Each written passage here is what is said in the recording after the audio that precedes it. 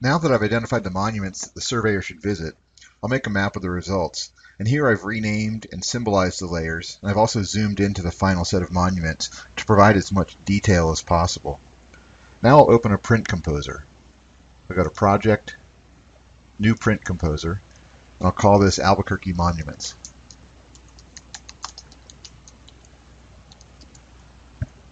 I'll click OK, and my Composer Manager opens. First I'll go to the Composition tab, and I'll set up my document. I'll make it letter sized, so I'll scroll down on the presets to ANSI A letter. I'll keep the landscape resolution, and I'll keep the resolution at 300 dpi. Once I've taken care of those basics, I'll go to the Add New Map button. and I'll drag a map body onto my sheet of paper. And I wanted to leave a little bit of room for a title at the top of the map. With my map selected, I'll go to the Item Properties tab, and I'll click Set to Map Canvas Extent.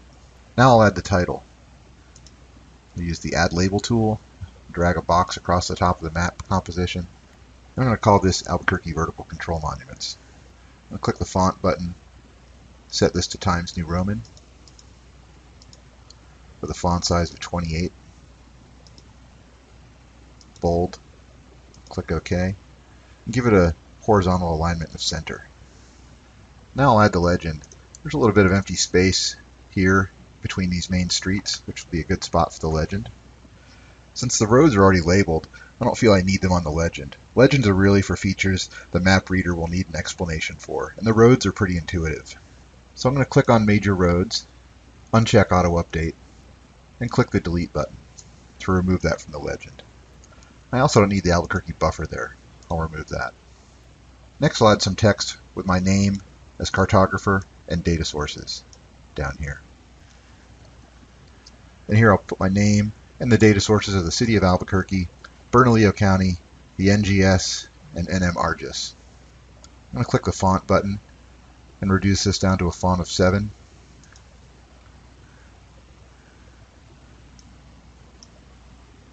And reposition it so it fits in the lower left corner and then I'll add a scale bar just above that piece of text. QGIS uses map units for scale bars, and here our map units are feet. Therefore, to make a scale bar read in miles, I need to enter a map units per bar unit value. So in this spot, map units per bar unit, first of all I want to tell it that my map units are in feet, and then I'll enter 5,280 in here, so that my bar units will be equal to one mile. And then the label I'm going to change to miles. I'm going to click the Style tab. I'm going to change this to line ticks middle. Under segments, I'm going to change the size of the units to 5,280. And I'm going to reduce the segments on the left to 1 and the right to 2. Finally, I'll go down to Fonts and Colors, click on the Font button, and I'll reduce the font size to 10 so it fits a little better.